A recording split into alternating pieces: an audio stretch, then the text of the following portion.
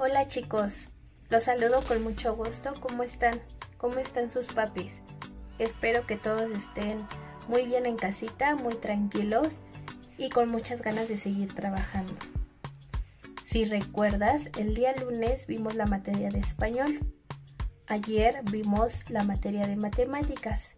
Y hoy, ¿cuál crees que nos toque ver? ¿Qué materia crees que nos toque repasar? Mm, bien, es conocimiento del medio. Hoy vamos a ver un tema de esta materia. Pero antes quisiera recordarte a ti y a tus papis que está la opción del correo electrónico para que ustedes me escriban cualquier duda que tengan respecto a los videos, respecto a la forma de trabajar, a las actividades que ya se les dejaron o de cualquier tema que quieras ver en específico, a lo mejor para repasar un poco más en eso.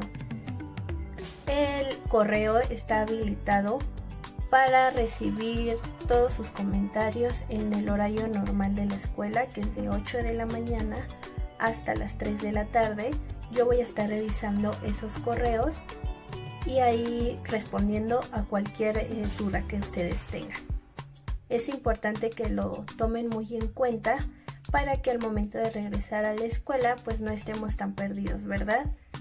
Es importante que sepas y que tus papis recuerden que las actividades que debes de realizar son las hojas que ya se te mandaron.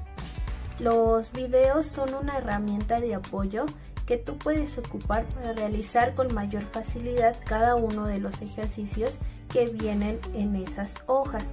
Si aún así tus papis o tú tienen alguna duda, para eso precisamente es el correo. En primera instancia encontramos las actividades de la planeación que se les mandaron. Posteriormente está el video como apoyo o reforzamiento. Y si aún así se queda con dudas, está la vía del correo electrónico para que haya mayor claridad en todo este proceso que estamos pasando. Ahora sí, ya que les comenté lo anterior, vamos a empezar nuestra clase. ¿Se acuerdan con qué comenzamos? Muy bien, con nuestro ejercicio de gimnasia cerebral. ¿Pero se acuerdan para qué es esto? Sí, acuérdense que nos ayuda a concentrarnos mejor en la clase que vamos a tener, en los temas que vamos a ver y después en los ejercicios que vamos a realizar. Así que empecemos. Te recomiendo que antes de iniciar el ejercicio y al terminarlo tomes tantita agua. Lo que vamos a hacer es lo siguiente. Vamos a estirar nuestras manos hacia el frente y vamos a separar nuestros dedos. Lo más, lo más, lo más que podamos. Incluso nos puede doler, pero es muy poquito.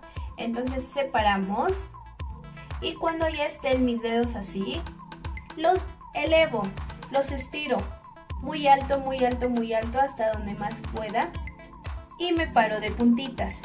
Ya están de puntitas y con los brazos así. Ahora voy a inhalar. Mantengo el aire y cuento hasta 3. Al momento de soltar el aire lo que voy a hacer es gritar y bajo los brazos de esta manera. Entonces mantengo el aire. Una, dos, tres y suelto. ¡Ah! Esto lo voy a repetir tres o cinco veces. Acuérdense que lo pueden hacer con su familia o solitos. Muy bien chicos, me da mucho gusto que practiques cada ejercicio que te voy mandando, ya sea solito o con tu familia. Ahora sí, al principio del video te dije que la materia que vamos a trabajar el día de hoy es conocimiento del medio y el tema es responsabilidades en casa. ¿Tú sabes qué es responsabilidad? Mm, ¿Tienes responsabilidades en tu casa? ¿Cuáles son? Para que nos quede un poco más claro este tema, te voy a leer un cuento y tú lo vas a ver a continuación. Al finalizar este cuento, yo te daré una explicación breve de lo que es responsabilidad para tener mucho mayor claridad. Así que vamos.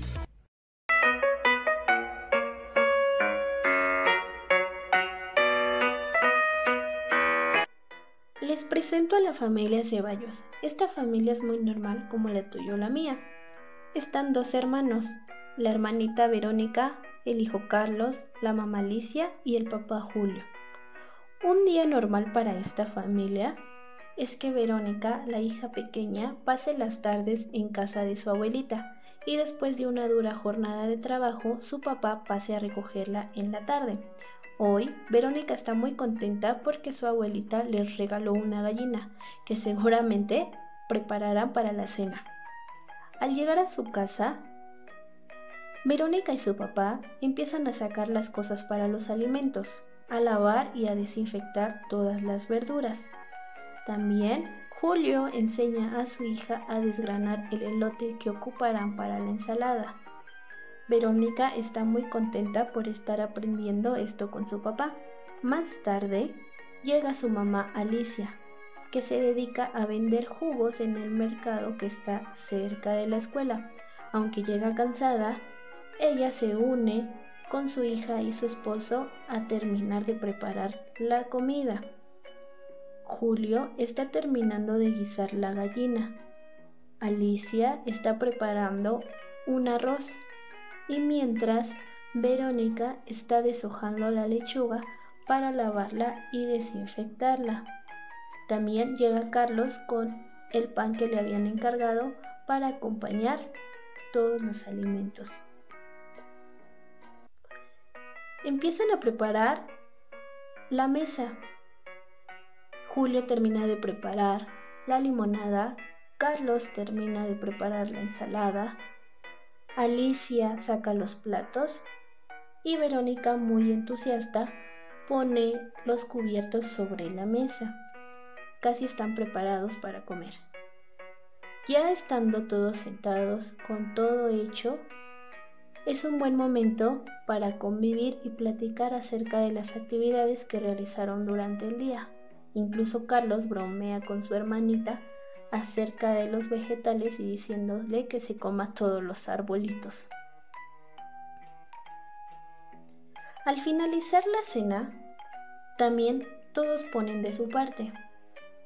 Alicia y su esposo lavan los platos y preparan el frijol en remojo para el día de mañana.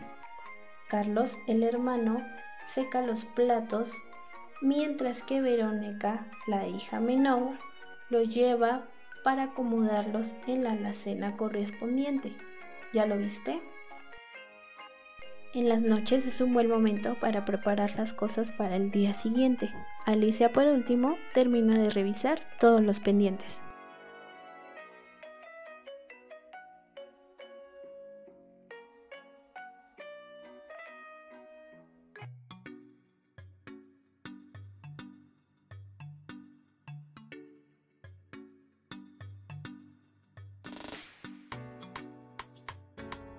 ¿Qué tal chicos? ¿Les gustó el cuento? Espero que todo les haya quedado muy claro. Acuérdense que mañana tenemos un nuevo video. Así que les deseo una bonita tarde a ti y a toda tu familia y que coman muy rico. Nos vemos mañana chicos. Bye.